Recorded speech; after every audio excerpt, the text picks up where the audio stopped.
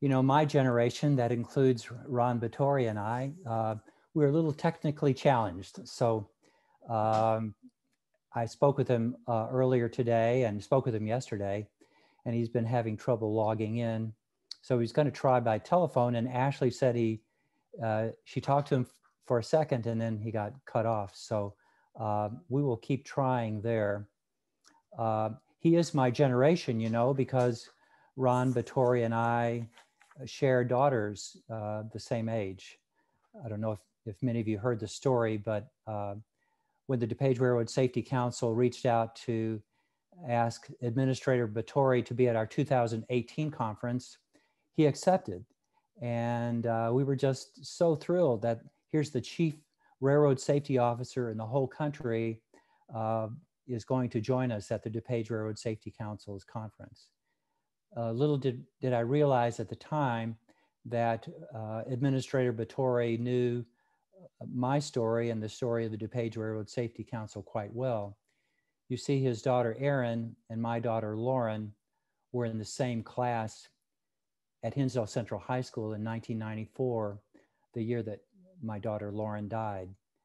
And uh, Erin, his daughter, was angry at her father, who was working in the railroad industry, and uh, and her her friend Lauren had died. Um, so um, he has watched the DuPage Railroad Safety Council grow through the years, and uh, so it was wonderful to have him with us in 2018, and uh, to have him back again today. I feel confident that we'll make that connection before the time is, is finished. We've got about 15 minutes. Um, we might uh, have to have uh, administrative. I've got, I've got him on speaker now. He's listening to you and he's able to share. So oh, wonderful. Welcome. Welcome, Administrator Batory. How are you today, sir? Uh, good, good, mor good morning, Lanny. Can you hear me? We I sure can. I sure can. Welcome aboard. I hear some. Uh, I hear some background noise. That's why I'm asking. Yeah, um, it's I, just. I certainly apologize for the issue concerning Zoom. Um, much uh, to my surprise, I didn't expect to have this difficulty because I've used it quite frequently. Yeah. Uh, uh, Ron, I, I was just explaining to the group that uh, our generation, yours and mine, has a little bit of trouble with some of this technical stuff. And I was saying that um, we are the same generation because we have daughters the same age. Okay. And uh, so, anyway, welcome aboard. If you if you um, if you will allow me, Ron, I'm going to go ahead and and read your your bio. I think it uh, it's worthy of spending the time and uh, you've accomplished so much in your uh, lifetime. You know, uh, Ronald L. Batory is a career professional with more than 45 years of field and system experience in the railroad industry. He spent the first 23 years of his career working for both Eastern and Western Class One railroads, in addition to serving along with a court appointed trustee's successful oversight of a regional railroad bankruptcy. Then in 1994, the year that, that Lauren died, he was appointed president of the Belt Railway Company of Chicago, a multiple owned subsidiary of then nine competing Class One carriers.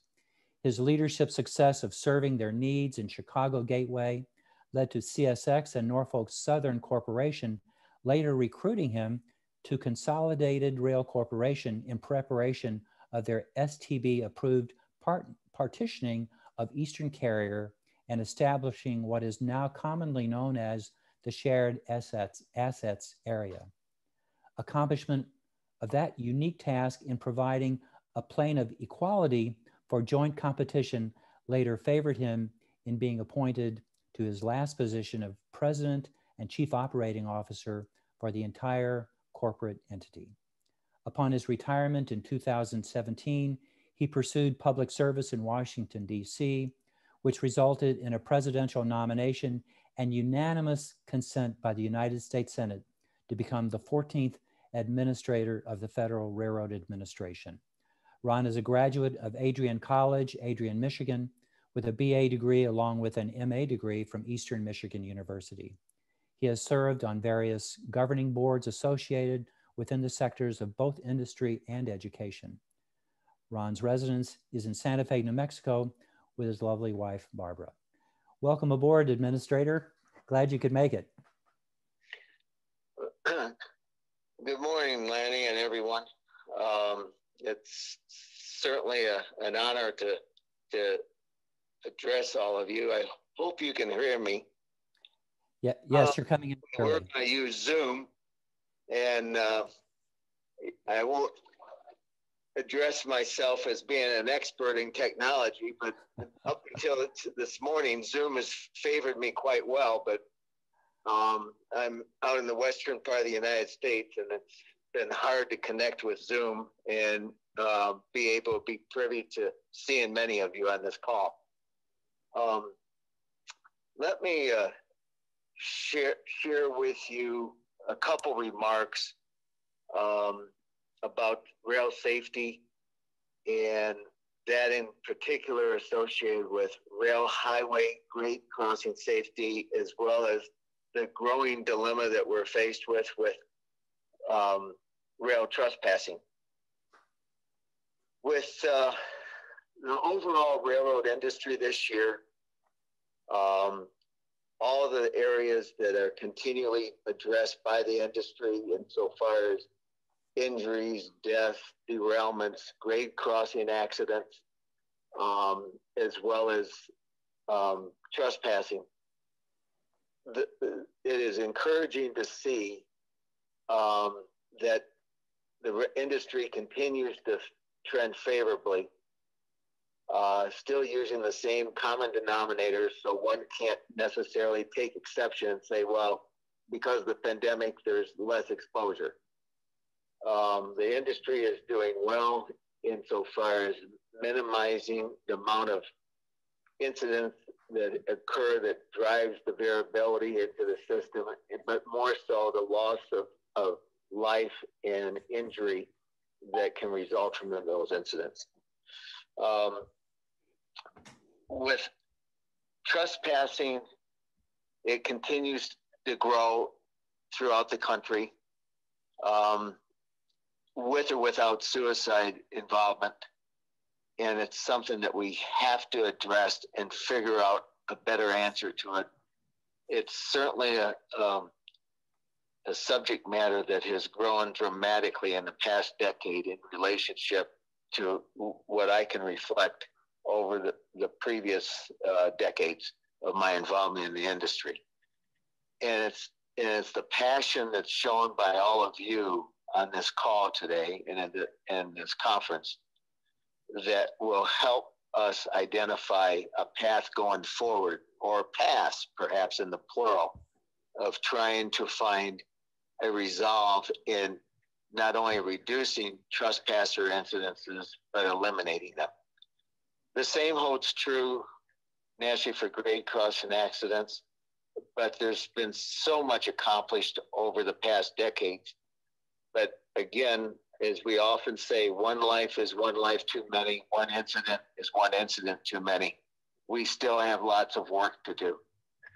And although we have some new tools in our tool bag, especially associated with technology, um, we can't just sit back and wait for technology to become the, the silver bullet, if you will, because it never will.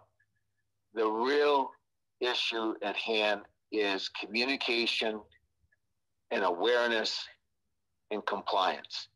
And that resides with each of us individually. And that's something that we have to instill into everyone's minds, no different than when they get in an automobile and they put on their seatbelt today. Um, that was a long journey unto itself. But uh, um, we now have, if you will, at FRA, a multi-year plan for railway grade safety uh, as well as trespasser safety. And that plan is if you will, addressed as a living document. It's led by Jim Payne in Washington, D.C. He maintains it, um, utilizing the resources within FRA, all the state inspectors, all the various councils and groups such as your own, as well as representatives at NHTSA and the Highway Department. So we are very encouraged with the results that we're seeing from that. Um, and it, we continue to emphasize the need for ongoing strong communication when it comes to this whole issue of awareness and compliance. Um,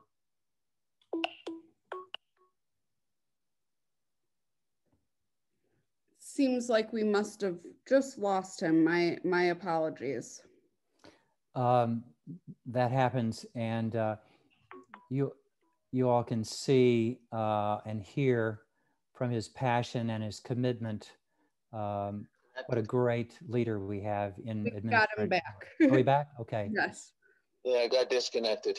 sure. Welcome back. Uh, Lanny, can you still hear me okay? Yes, sir. You're doing great. Uh, okay, I apologize because I'm getting an excessive amount of feedback.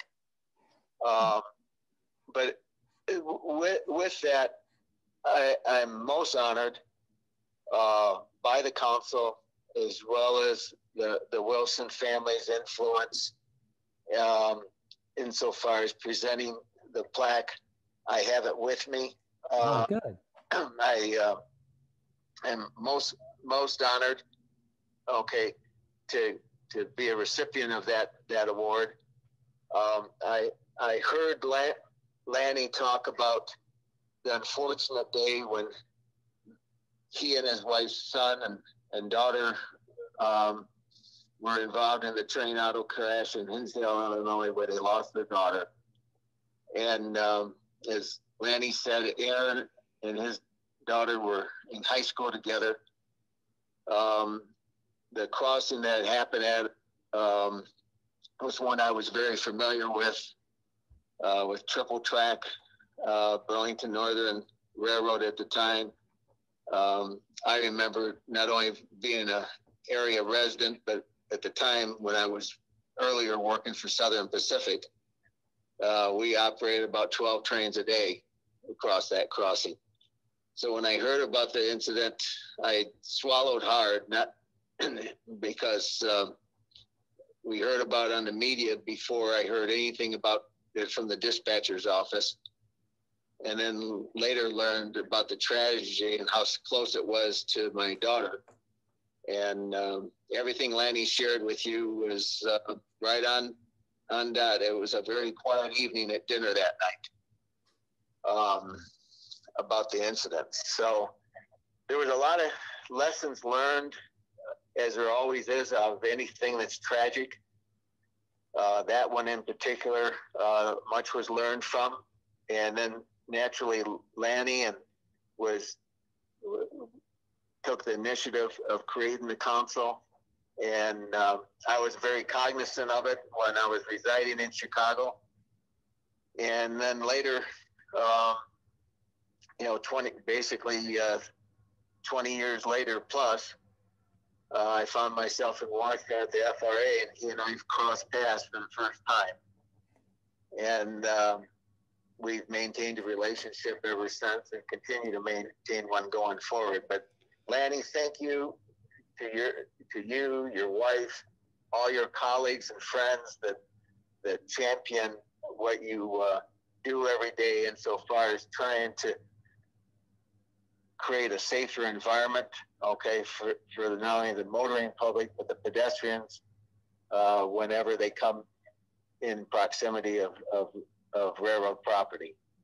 Um, I did uh, share with you that uh, I'm certainly amenable to uh, any questions uh, that you or the audience may have, and I'll um, try to field them. And again, I uh, if I'm not coming across well, I apologize, but I have absolutely no idea why I'm hearing this feedback on this call. Administrator Batory, uh, we're just so happy that you joined us today. Uh, we can uh, field those questions at a, at a later time. I think the audience can see that we're blessed to have an administrator with such a big heart. And one of the reasons why you've received the award that you have, sir, is because you're a good listener. We had some high school students at our last monthly meeting who told us about getting an audience with the administrator. Uh, so you, uh, you're a, a, real genuine person. You're, you're not just sitting in a high loft uh, above the rest of the crowd. You could have easily retired when you finished um, uh, in, in public life, but you, you've given your, your time uh, and we're so honored that you've given your time and so thankful that you've given your time to help uh, serve as administrator of the Federal Railroad Administration.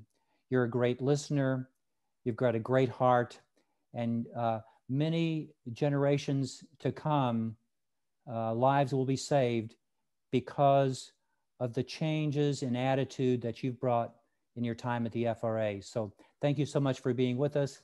Thanks for your service, sir. Thank you, Lanny, and thank you all that are in attendance today. And I look forward to future opportunity when we can meet again. Thank you. Likewise. Thank you, Administrator.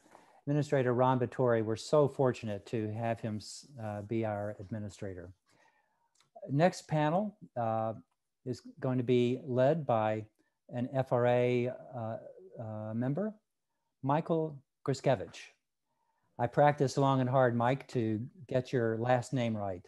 Since 2004, Mike has been a part of the Federal Railroad Administration's Office of Railroad Safety as a railroad trespassing program specialist. He partners with federal, state, and local government officials throughout the United States to establish and implement trespass prevention programs. Mike led the development of the national strategy to prevent trespassing on railroad property document and oversees the implementation of the strategies outlined. Without further ado, here's Mike. Thank you, Dr. Wilson, and thank you everyone that has joined us today to uh, uh, learn more and discuss strategies on this very important topic. As Administrator Batory said, the Federal Railroad Administration under his direction has created a national strategy outlining FRA's position and our milestones or tasks that we would like to um, see happen over the next several years. FRA is technically two years into that national strategies, and of the 20 that are listed um, in this document, FRA has uh, tackled 18 of them, and the other two are more of a long-term effects or long-term projects that FRA will continue to work on. You'll see that pop up in the chat room. You'll see a link to that document. Feel free to contact us. That, that will be a great uh, resource for folks in the audience. In addition to that, as uh, my friend and colleague Steve Laffey mentioned earlier, since 2012 to 2019, there has been over 10,000 casualties related to railroad trespassing. That does include trespassing casualties and suicide casualties combined. Of that, over 4,000 fatalities and over 3,900 injuries since 2012. So conferences or summits like this is a very important gathering. Over the next hour or so or, or shortly, we're going to talk about strategies for eliminating rail suicides. I'm, it's my pleasure today that I'm joined by three experts in the field, Dr. April Foreman, Dr. Starr Kidda, and Michelle Jennings of Amtrak. Um, these three folks are outstanding in their fields all three of them will provide you some very valuable information and all these presentations that you will see from these three folks will be made available um, after the program on the websites. So let's get right into it. I'd like to introduce our first speaker, Dr. April Foreman, PhD. She is a licensed psychologist serving veterans as a deputy director of the Veterans Crisis Line Innovation Hub. She's also the executive community member for the Board of American Association of Suicidology and has served at the VA since 2017. Um, for me, I'm very pleased to introduce her to speak today as a veteran. It's nice to see the uh, VA tackle this issue and have somebody esteemed as uh, Dr. Foreman leading this cause. Dr. Foreman, I'll turn it over to you what a what a delight to be here. Uh, I am not uh, speaking on uh, behalf of VA. I'm here in my um, AAS board member capacity, but the VA knows that I do these things, and and certainly uh, is, is happy for me to be here in, in my in my sort of broader professional capacity. Uh, I'm here to talk about suicidology, which can I tell you makes me the most popular person at every house party I ever go to. But I'm hoping to start by telling you a story um, and I'm trying to advance to the slides. Maybe Ashley, if you could go ahead and advance forward. Perfect. So I get to travel a lot and talk to all sorts of folks uh, about suicidology and suicide prevention. And one time, uh, I sort of last minute found myself in uh, Rotterdam, and I uh, was suddenly having uh, drinks and stroopwafel with a lovely uh, gentleman who was um, the suicide prevention uh, director for the um, Netherlands uh, railway system. And of course, this was my first time talking with someone who specialized in rail uh, related suicide prevention. And I, you know, of course, was so curious to learn how things were going, to learn all about it. And he said that in the Netherlands, they're really committed to a zero incident safety culture, and suicide prevention and rail safety just really go hand in hand with this. Um, I, I, had a wonderful evening. Uh, and then, of course, just a few months later, uh, so this was, um, I want to say maybe maybe six months later, uh, you can see in the Netherlands Times that suicide deaths by train were down 10%, which is the biggest decrease in a decade. So this is what this gentleman's office was able to achieve when it comes to preventing suicide deaths, um, there can be a real sense of, of hopelessness, helplessness, or uh, a real myth, a misperception that if people want to die, there's nothing you can do to stop them. The data uh, is the absolute opposite of that, which is that just like any other safety culture, good design reduces death. And most people who are suicidal don't die and go on to recover. So if you can, intervene in a relatively short period of time, making the environment a little safer. People live. And this gentleman that I was having drinks and stroopwafel with uh, at a place called Granny's in Rotterdam is would definitely agree and tell all of us in America that this is possible. Next slide. So just very briefly, I'm Dr. April Foreman, uh, and, and I am here for a reason. Um, my mission in life is to reduce pain, uh, and it, one I'll do it one person, one problem, one minute at a time if I have to. But I try to be more effective than that if I can. And I'm here today to help provide this community uh, with better education about suicidology and suicide prevention, so that we can advocate for things uh, that we need to prevent railway suicide deaths. Um, and I'm really grateful to be here with you. I'm happy to share my personal contact information. I like to have long relationships with folks because ultimately it is the general public advocating for what is needed that changes uh, the world and saves lives. Next slide, please. There are some real fundamentals that we uh, about the science of suicide uh, that it's really important for you to understand so that going forward you can ask for what is needed to change these problems. And here are a few things. Suicidal feelings are temporary and they will not kill you. No one ever died from feeling suicidal. As a matter of fact, about eight to nine million Americans will feel so intensely suicidal that they will be at high risk for suicide uh, this year.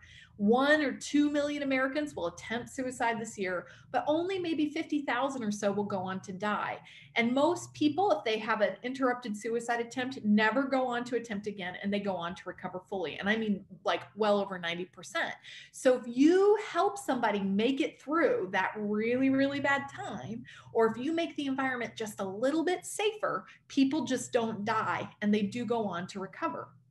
The suicide zone, that little period of time is not very long. As a matter of fact, on average, it's it's only about 30 minutes where someone uh, appears to be in what uh, one of my favorite suicidologists, Dr. Bill Schmitz, calls a suicide zone. You are in an impaired state. You are almost never thinking clearly. You're you have almost tunnel vision.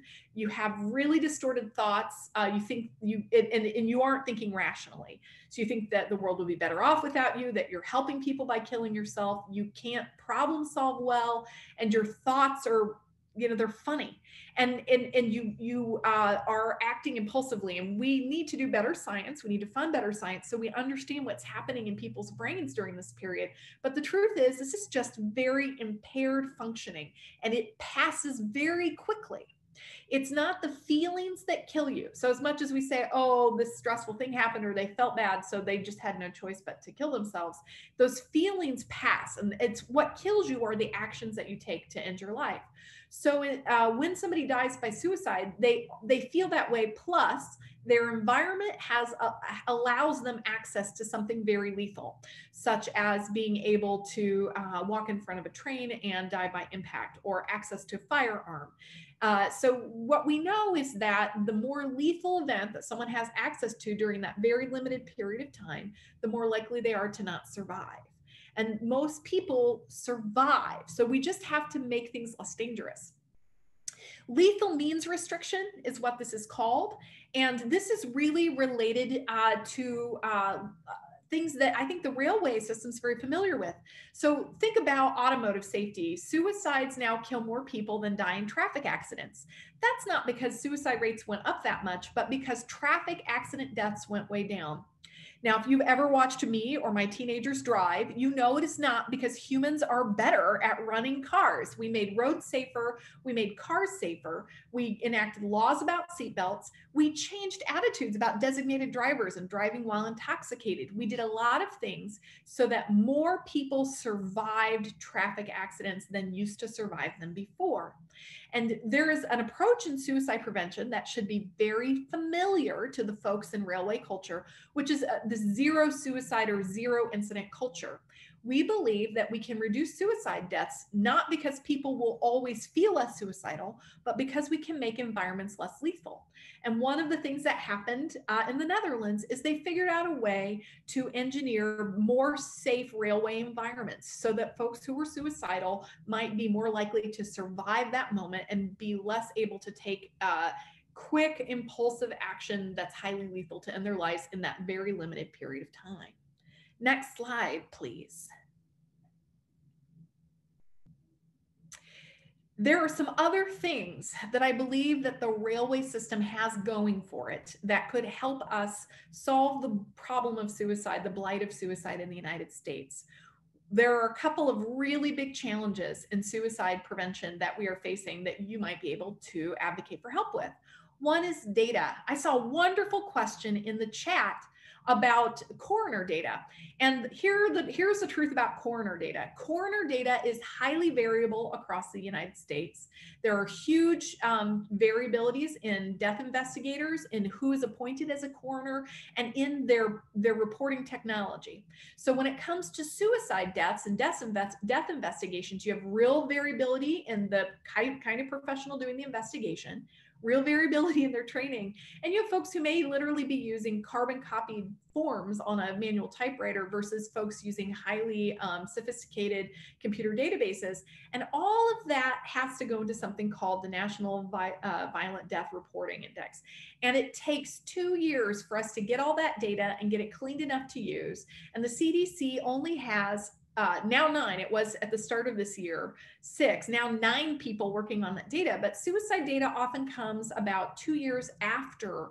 Uh, we're usually dealing with data from two years ago, not currently. So you're dealing with railways, just like with traffic, you might have access to data about suicide deaths in your railway systems and more information about the root cause of those deaths than us suicidologists have about suicide deaths. And maybe, maybe we can work on sharing. Additionally, railway systems are systems. That means that you know a lot about what's happening around the lethal means, the impact from the train. Uh, you know a lot more about what's happening and can control the environment a lot more while we definitely see public campaigns and I'm and I'm on the committees that design those campaigns that say everybody can prevent suicide just reach out talk to someone who cares and that's a very loving and wonderful thing to do.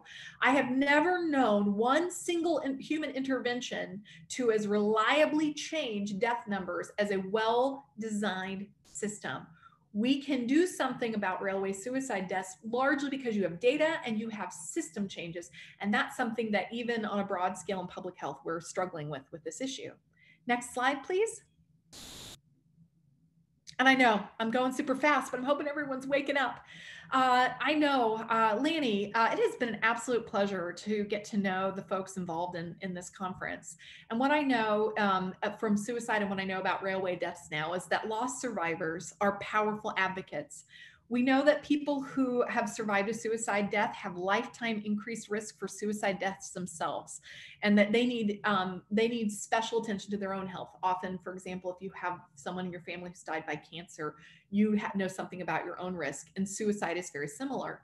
We also know that postvention, providing postvention programs for people who have survived a suicide death, is very important with railway uh, suicide deaths, you'll know who's died and you can outreach uh, the people who have survived. There's something called a loss team, and these are teams that rapidly deploy and reach out to people who've survived a suicide death. And we know that postvention is prevention.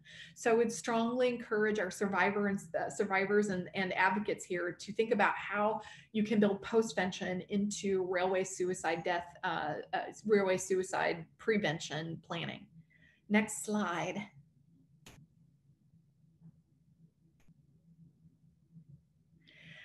I want to talk about not only going to Rotterdam, but I want to talk about going to China. Um, I, I, like I said, I'm so lucky I get to travel. And so I was speaking to epidemiologists in China about some of the interesting things uh, happening in the United States relative to suicide prevention. And my, I was a keynote and my co-presenter was a guy named Dr. Lars Mehlum. This, you can see him in our slides right here.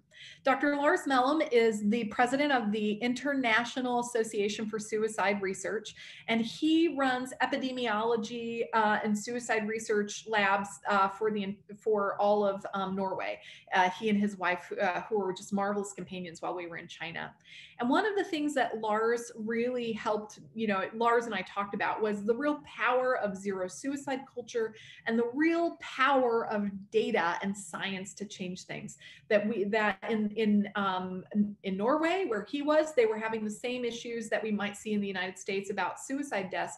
But for him, they had all the data about everyone who died, and they had it faster, and they could inform and design prevention responses just a little bit faster than us. Lars also is just a wonderful uh, reminder of how much you can do with partnerships and sharing information from country to country or system to system. And it's with that spirit of partnership that I leave you. Thank you so much for inviting me. Thank you very much, uh, Dr. Foreman. Um, very informative presentation and, and uh, um, we'll have to do another presentation for you to give us a uh, update on your trips uh, around the world as it relates to the suicide and the different types of programs that you have encountered. Uh, I'd like to introduce next uh, a colleague of mine, Dr. Starr Kidda. She is the division chief for FRA Human Factors Division in FRA's Office of Human Research, Development, and Technology. Since 2013, Starr has supported her division's research in areas such as grade crossing safety, trespass and suicide prevention, fatigue, and of course, safety culture. Starr received her PhD in industrial organized psychology from the University of Georgia and her BS in psychology from Davidson College. Um, I can personally tell you Starr is very well versed in this topic and um, as leading our human factors division, um, she is outstanding in her field. Um, Starr, can you take it over? Absolutely. Thank you for that introduction. And thank you, Dr. Foreman, for that great presentation. I think your remarks certainly help us begin to understand some of the complexities involved in this, this topic. Um, so earlier this morning, we've heard Steve Laffey give a comprehensive summary of fatalities, twin, fatalities trends. And Steve also explained the special challenge associated with rail suicide. We've also had the opportunity to hear from rail, from commuter rail carriers about some of the initiatives you guys are working on to reduce uh, trespassing and suicide incidents. So thank you for that. On to the next slide. I'm here on behalf of the Federal Railroad Administration. Um, at FRA, we understand that these issues that we've been talking about this morning are not something that are the responsibility of any one entity. It's not something railroad carriers can address on their own. Rather, these issues require thoughtful and consistent collaboration between all the stakeholders, which are railroad carriers, communities, law enforcement, educators, and mental health organizations. At FRA, we work in collaboration with the Volpe National Transportation System Center, Volpe. Um, you've had a chance to meet Scott Gabree this morning, and I know a number of you have worked with him in the past. Um, Scott is the lead researcher for rail suicide research prevention at FRA, and we're very grateful to have him on board. At FRA, we conduct three categories of suicide prevention activities, outreach, data analysis, and countermeasures support, countermeasures development and evaluation. Um, I'm gonna really focus on our outreach efforts today. Next slide.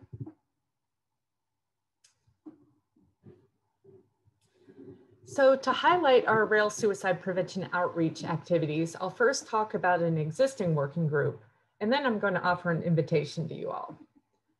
Since 2013, FRA and Volpe have led an international working group of experts in rail suicide and trespass prevention. This group is called GRASP, the Global Railway Alliance for Suicide Prevention. The goal of GRASP is to gather information about the ongoing efforts that are being undertaken from experts around the world. We document lessons learned and best practices from our international rail partners, and the information we learn from this GRASP working group then informs our research activities at FRA and Volpe. On the slide here, you can see a link uh, with some more information about the GRASP working group.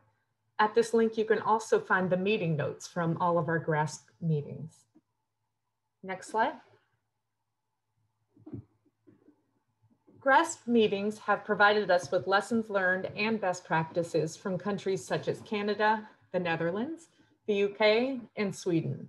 A few sample lessons learned from the GRASP working group include first, the impacts of specific words and phrases on rail suicide. That is, what words or public messaging tactics can assist those who need to find help, and which words may inadvertently highlight the lethality of rail suicide.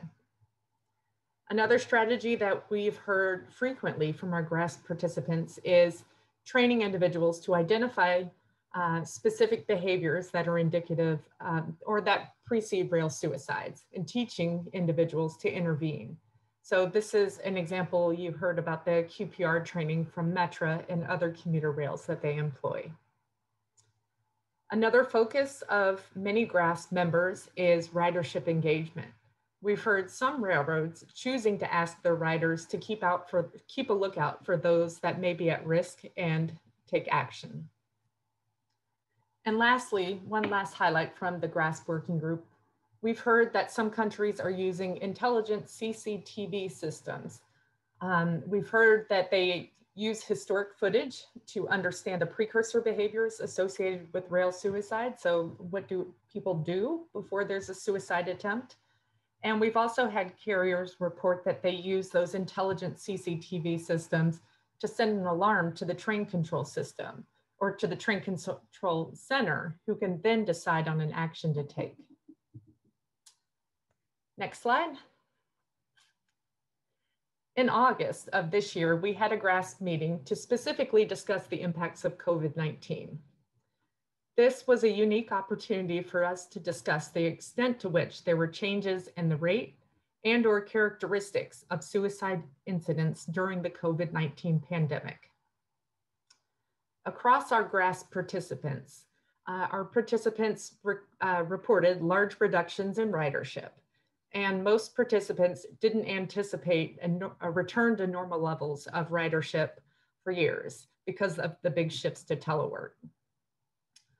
Participants also reported a range of impacts on the rates and characteristics of trespass and suicide incidents. So for example, the UK saw an initial reduction in rail suicide, but that's since rebounded to normal levels. The Netherlands and Sweden are seeing numbers unchanged from last year despite reductions in train movements. And in Toronto, they're seeing the highest number of suicides in 11 years over just the first six months of 2020. I encourage you all on this on this call to review the meeting notes from this special meeting in August. There's a link posted here and feel free to reach out to us if you'd like more information or would like to discuss this further. Next slide. One of the most commonly applied strategies to prevent rail suicide worldwide is for trained staff to identify those at risk for suicide and intervene. In a COVID-19 world where in-person interactions are minimized, this was initially seen as, an, uh, as a risk um, approaching other people. But nearly universally, our GRASP member countries decided that the benefit of these efforts outweighed the risks. Some countries pushed their training online or had the training in larger classrooms, but most have maintained training their employees during the COVID-19 pandemic.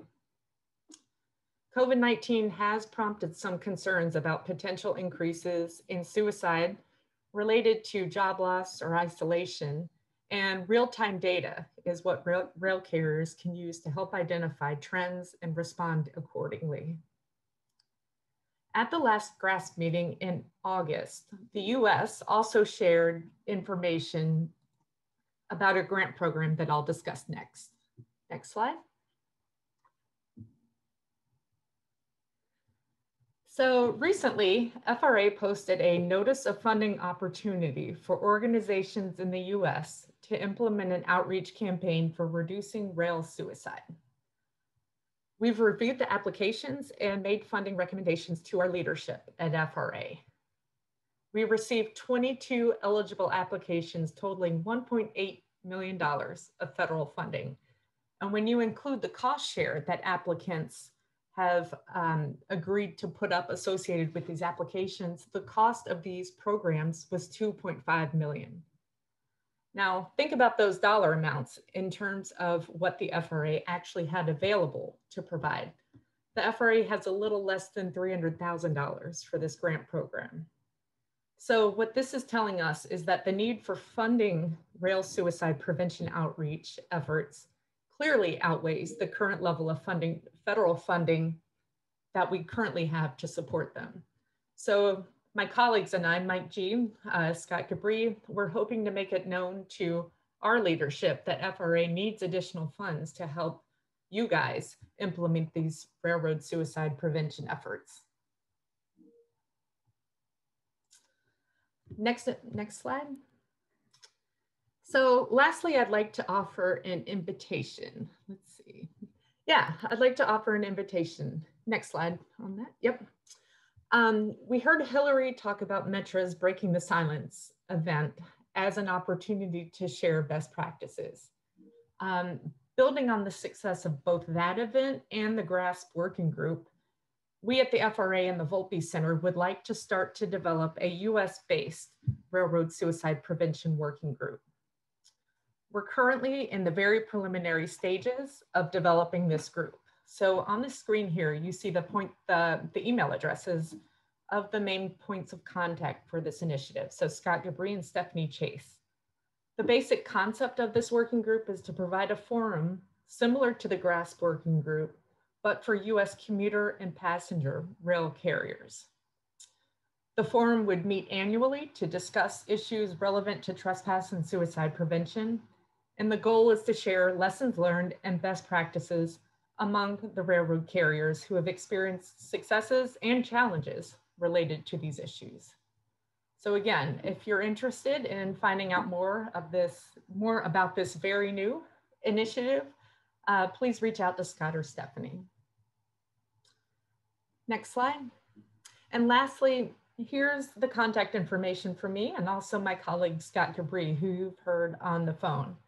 I encourage you guys to take note of our phone numbers, our email addresses, and, and use that. Reach out to us. Scott and I are federal employees. We're public servants. We're here to work for you guys. So please let us know what we can do. With that, I will turn it back over to Mike G. Thank you, Starr. Um, one thing I would like to add to Starr's presentation that my colleagues will be posting for you is FRA, along with our friends at the Volpe Center, have created a um, uh, rail uh, suicide uh, resource page. Um, that link will be posted in the chat room for you. Um, as Dr. Kidda mentioned, um, at FRA, we have um, several people focusing on this topic. Dr. Blue, Monica Shaw, Francesco. Um, so there are several of us here to assist you. So visit that resource page, reach out to Starr, and please join our team. Um, the more people that join this team, the better that the impact that we'll have. The next presentation I'd like to get into is with um, Michelle Jennings. Michelle's a Geographical Informational Systems, GIS, professional for Amtrak Police Department, Office of Intelligence and Analysis. She received her BA, BA in GIS from the University of Texas at Austin. Since 2000, she's worked at a variety of capacities as uh, in the public safety sector, supporting police, fire, and emergency operations. Um, Michelle's presentation um, will get into an in-depth look at um, a prevention strategy that has been put into motion. So Michelle, can I turn it over to you? Thank you. Good morning. Um, it looks like I'll need some help uh, changing slides because I don't have the um, the permission to do it. Um, yes, my name is Michelle Jennings. I work for the Amtrak Police Department. And as an analyst um, in this department, I utilize GIS technology for intelligence-led policing and crime analysis.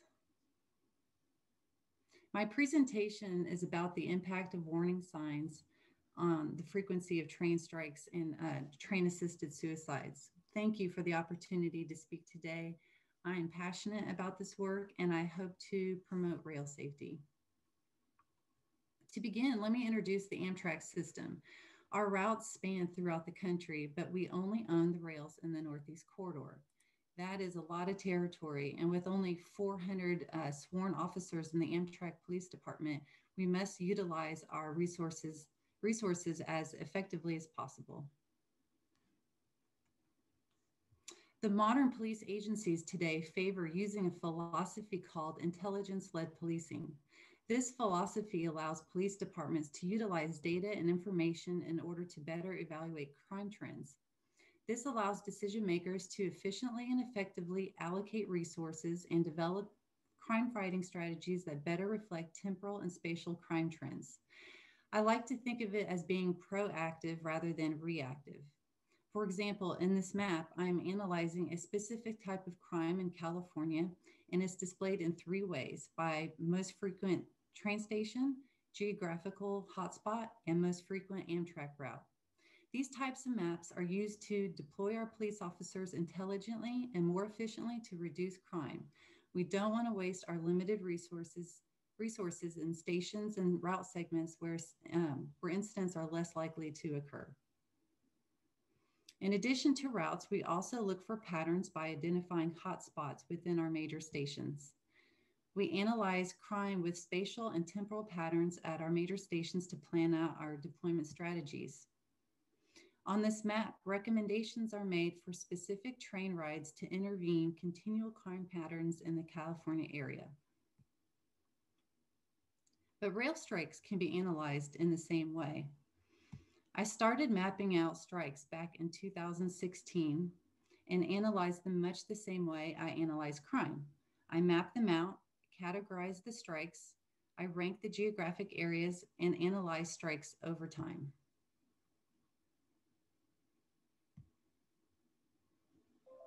I ran ESRI's space-time cube analysis geoprocessing tool and found that in fact, our top strike locations are indeed true hotspots over space and time. There's a real pattern happening here over an extended amount of time. The consecutive hotspots um, for Amtrak include the California Bay Area and the San Diego area. And the oscillating hotspots occur throughout California, in the Northeast, Seattle, Portland, and in Florida. Based on this, I started looking deeper into our strikes and I began to collect and map out strikes by type, by location, and share this information for rail safe outreach opportunities. Just as I map out crimes, I map out strikes in specific regions and then find the hotspots. The California Bay Area is our number one strike location, and this is a consistent hotspot over many years. Using GIS technology, I could narrow it down to a specific, well, to specific locations within the Bay Area and then analyze it with cultural aspects. The hotspots areas within this region do seem to correlate with homeless encampments in the area. The homeless encampments are the red dots. They also correlate with lower income areas shown in beige and with predominantly Hispanic majority areas shown in green. Every city and every train strike location is unique though. There might be a reason that a location becomes a train strike, train strike hotspot and I continue to identify these areas. Diving deeper into detail, I point out very specific location within smaller geographical areas and make strong recommendations of change and community involvement. When examining, oh, I'm sorry, here's a, these are more um, uh, deep, deep dives into specific locations around the um, California area. When examining suicide strikes exclusively, I find that they too have a pattern across the country and if there is a pattern, we can also intervene much like we do for crime. At Amtrak, we have a team of employees that lead the effort for rail safety. Barb Petito is a fantastic leader in this effort, and she works hard with other railroads to post suicide signs throughout the US. She works with me to find the best locations to place the signs. In California, this map represents the suicide sign locations placed back in June 2017. In the Northeast, during the same time frame, suicide signs were also placed according to past suicide strike locations. And finally, in the Southeast, many suicide signs were placed in Florida. And after a year passed, I calculated progress with the maps on the following slides. so in the California area, the following year, there's a 43% reduction in suicide strikes in the regions where suicide signs were placed. For this presentation, I calculated the percent change in the same area of the same signs and found that California had a 33% reduction from the pre-suicide sign time period and then an 81% reduction for June 2019 to June 2020. And in the Northeast, the first year after the signs were posted, there was a 57% reduction in suicide strikes. I calculated the following two years, and this area continues to show a reduction of suicide strikes. These maps were created to prove that suicide signs do, in fact, make a difference, and we hope to encourage the continual effort to intervene in suicide strikes in the future. Since this time period, Amtrak has created and posted over 300 suicide signs across the country. These efforts have not slowed down, and Amtrak continues to pay for suicide prevention signs to this day. Our group continues to improve our efforts into strike data analysis. Our strike data has many components that enable our team to analyze patterns. For each strike, we keep track of train numbers, routes, delay times, victim, victim gender, age, and strike type. We track a multitude of reasons why the strike may have occurred, including headphone usage, alcohol or drug usage, uh, nearby warning indicators, distracted by electronics, physically disabled, or if the trespassers went around activated gates, and many more. I add this rich data into ESRI's operational dashboard. And with this dashboard, data analytics can be performed quickly and with every single attribute and for any specific region in this company, in this country. Thank you for watching my presentation um, and please be safe and have a great day. Thank you, Michelle. It's very impressive to see what um, using technology can do for a reduction. Um, when you look at reduction rates as high as 8 plus percent in certain areas, uh, you can clearly see that the technology does pay off. I would add that FRA itself is using the GIS technology that Michelle mentioned, and we have developed a casualty map that you'll also find online. Um, I've also had posted online, some folks have asked it where we, we locate our data in reference to trespassing and suicide, and FRA has created the trespassing uh, dashboard, which includes our suicide data and each state um, that has uh, suicide information in it. In closing, I'd just like to say, as Mayor Rodney Craig stated earlier, we kind of want to bring this to a county level. We want to bring it home. Um, the FRA, we're all over the country. We focus on national, national um, type uh, products. However, one thing that we're going to start doing over the course of the next year, or we should have done it this year, but due, due to the uh, public health emergency, we had to postpone it, is FRA will be bringing at a county level, us along with several of our key stakeholders, um, we want to continue this conversation. Um, this group has started the conversation. We want to continue it um, with them. So coming next year, um, we're shooting for early spring. We're going to be teaming up with members of Cook County government, uh, Illinois Department of Transportation, the railroads in the area to host a trespassing summit um, in Chicago. Um, most likely it will be virtual. We'll have to play that out. However, for those listening across the nation, we will be bringing this on the road. We are intending to bring this summit to several locations throughout the United States. If we are unable to do it in person, then we will be hosting it virtually. But as the mayor stated earlier, you know, we need to start bringing this home. Let's make it, uh, you know, on a county level. Let's focus our strategies to a particular area. And that's what FRA will intend to do over the course of the next month, uh, next year. With that being said, I'd like to thank Dr. Wilson for hosting this event. Uh, I, I, think it was an excellent event, um, and I'll turn it right back over to you, Dr. Wilson. Thank you.